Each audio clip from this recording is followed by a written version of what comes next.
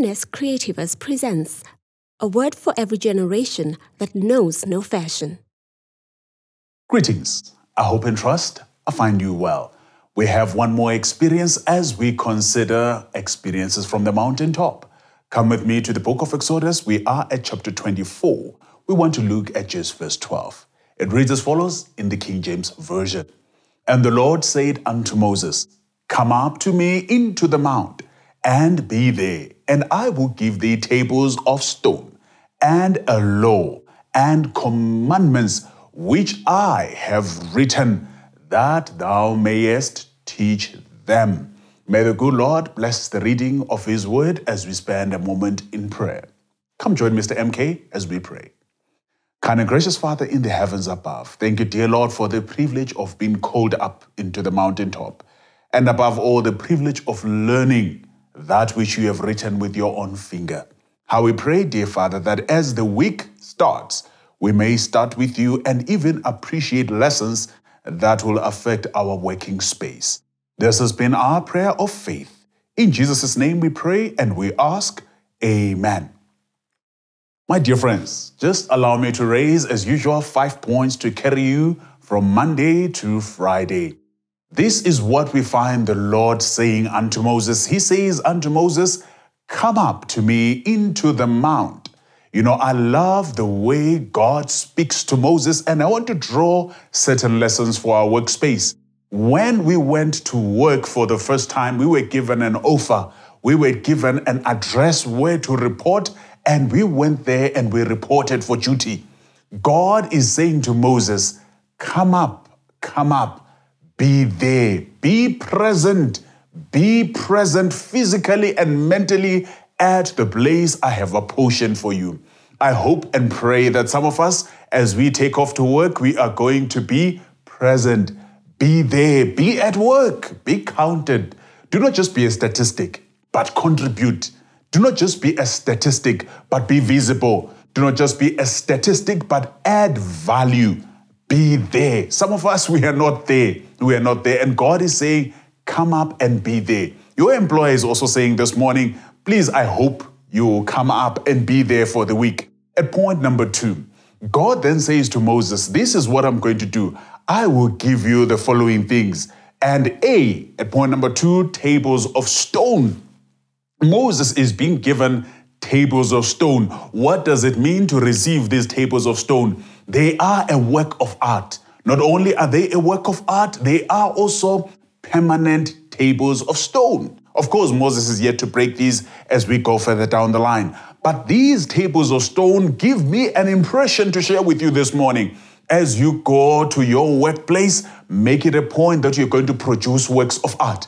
You're going to produce something that is worth giving over to a client, that is worth giving over to your supervisor, that is worth giving over to those who shall take up from you. What do you have to hand over? Those who go into the workspace must make it their prerogative to produce permanent documents, to produce permanent structures, to produce things that are going to outlive them.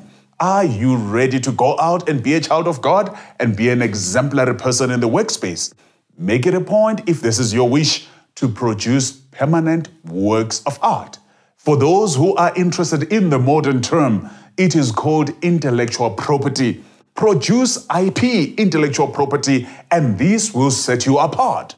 Point number three God then says to Moses, This is what I'm also going to give you a law and commandments. Before I go into the lesson, for those of us who are going into the workspace, allow me to delve a little deeper into the study of the word. God says, I will give you a law and commandments. Is there a distinction between the law and the commandments? Yes. Just bear with me. When Adam and Eve were in the Garden of Eden, they were given one law. Of the tree that is in the center of the garden, Thou shalt not eat. The day you shall eat of it, you will surely die. One law was given. The children of Israel are now on Mount Sinai at the foot of it in chapter 20. They hear God speak. And he says, Thou shalt have no other gods before me. Thou shalt not even bow down to any graven image which is in the heavens or even beneath. Thou shalt not take the name of the Lord in vain. He goes on, Thou shalt keep the Sabbath day holy. He goes on, Thou shalt uh, obey your father and your mother. And he goes on, You will not steal, you will not commit adultery, and on and on and on. Time does not allow us. Now, as God has articulated all these, why is God giving them this? These are 10 presets, these are 10 subunits, these are 10 uh, elements of the law. What is the law? The law is the character of God. What is the character of God? God is the one who gives the law. That's what makes the law. God is the one who sets what should be done. That's what makes the law, not what He has said, but who says it. That's where the authority is vested. So when God says, I will give you a law and the commandments. The law is to obey, and thus saith the Lord. Regardless of what he has said, every time he says, We abide by the law when we obey, and thus saith the Lord.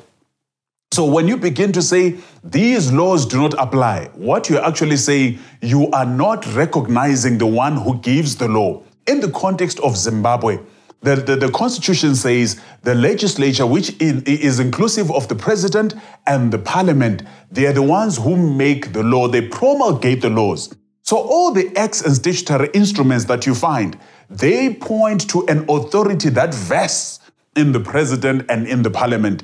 The Ten Commandments of themselves, they are not the law. They point to a God who makes the law, just like Parliament. So when we go through the Ten Commandments and we abide by them, we do not obey the Ten Commandments, we obey the God who has given the Ten Commandments.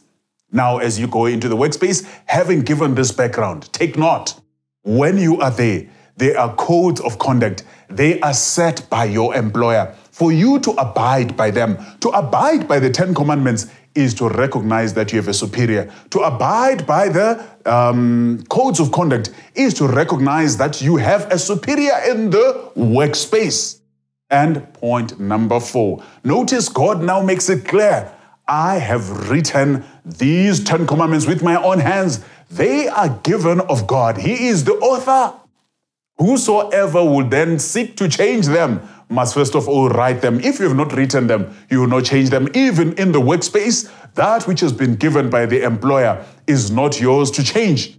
It is yours to apply to. It is yours to, to, to apply and even uh, comply with.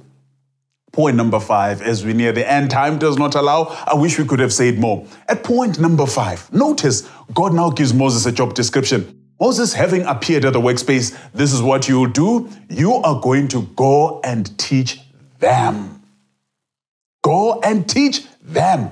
Even in the workspace, if you're a superior, I hope your subordinates have clear job descriptions. They have clear key performance indicators and performance areas. God leads by example he says, Moses, I have called you to be a teacher of the law. If you are going to go out into the workplace, go back and consider your job description. What is your key performance indicator? Have you taught them and teach them well?